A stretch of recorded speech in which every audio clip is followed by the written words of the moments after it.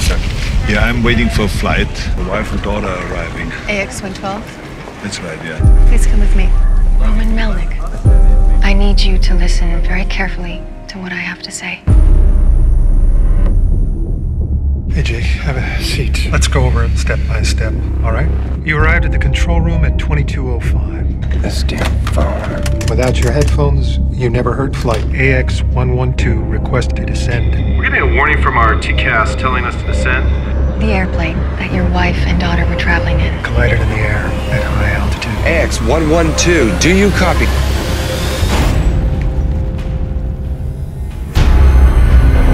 I would like for someone to say that they're sorry for killing to guarantee your safety, it may be in your best interest if you were to consider making a change. Another home, another name. Another life. I'm a journalist. I'd like to ask you a few questions.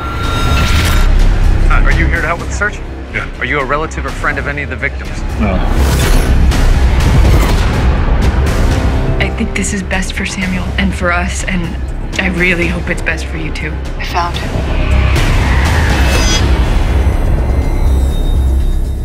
Put his house up for sale and moved to another state. And what's his address? I just want to look him in the eye. Show him a photograph of my family. Look at it!